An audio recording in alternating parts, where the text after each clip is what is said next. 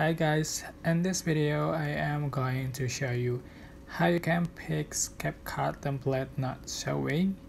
So I'll show you how to fix it on iOS as well as Android. But I won't a live example because my CapCut apps is back to good. So here we go.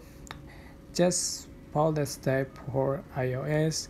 Go to font setting, select general so select language and region, just choose country like and go back and select VPN. Tap on add VPN configuration.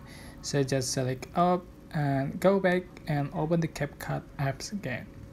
So for Android, you can follow the step, Go to phone settings, select application, find CapCut and select it, and click Cache and data so set enable all permission restart and open the CapCut again. So that's how to fix CapCut template not showing. So um, I hope this tutorial was helpful for you. Don't forget to click like comment share and also subscribe. Thank you so much for watching. Bye